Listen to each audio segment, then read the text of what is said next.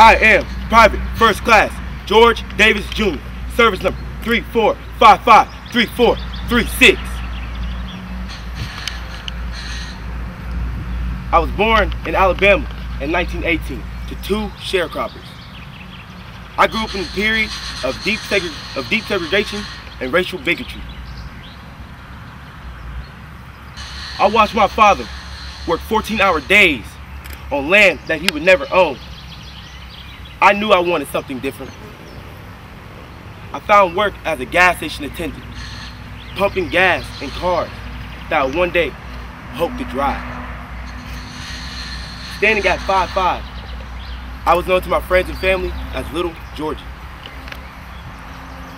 So when America went to war, I was proud to fight.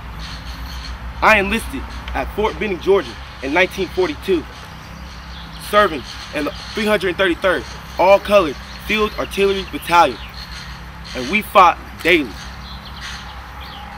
Towards the, end of, towards the end of the war, on December 17, 1944, we were overrun and sought shelter amongst the Langer family, who chose to look past our differences and our colors to protect us.